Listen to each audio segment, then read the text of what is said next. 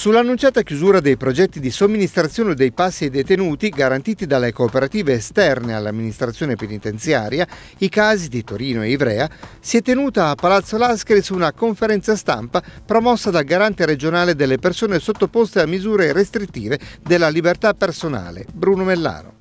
Hanno partecipato il direttore della Casa Circondariale di Torino, Domenico Minervini, il responsabile della cooperativa Ecosol per il progetto Libera Mensa, Piero Parente, e Marco Girardello della Casa di Carità Arti e Mestieri.